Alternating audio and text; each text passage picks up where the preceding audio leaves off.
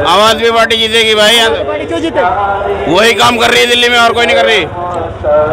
हाँ, नाम है आपका? मेरा नाम सलाम हुआ। अच्छा यहाँ पे एमसीडी चुनाव के लेकर मुद्दे क्या है बेसिकली मुद्दे? देखिए बेसिकली मुद्दे यहाँ पर ये हैं कि ये गंदगी और कूड़े का ढेर जो यहाँ बनने रहती है एमसीडी के थ्रू हाँ। इसका मुद्दा है। अच्छा ये पिछले पंद्रह साल से कांग्रेस के पार्षद रहे क्या उन्होंने काम नहीं किया?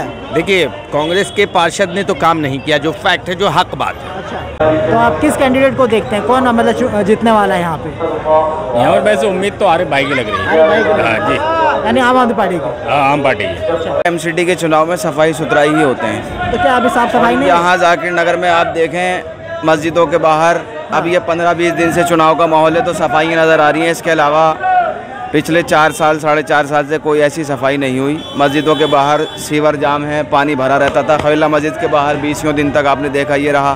बरसात हो जाए, बरसात में लोगों का निकलना दुशवार है। लोग आज इस्लाम और मज़हब के नाम पे वोट मांगते हैं। लेकिन सबसे बड़ा मज़हब की बात यह है कि यहीं का आदमी, यहीं की मस्जिद जाने में दुशारी महसूस करता है। तो यह है जिसके, आपके ऊपर जिसको एतमाद हो, जो इसका यकीन दिला सके कि भाई सफ़ाई सुथराई का हम ख्याल रखेंगे, उसे अपना वोट दें।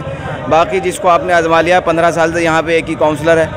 क्या नाम है उनका? शुएब दानिश साहब हैं यहाँ के काउंसलर तो उन्होंने काम नहीं किया? है अगर आपको इलाके के लोगों को लगता है कि उन्होंने काम नहीं किया जैसा दिखता है यहाँ पे तो उसका फैसला इलाके के लोग करें। तो कौन सी पार्टी आने वाली है एमसीडी में?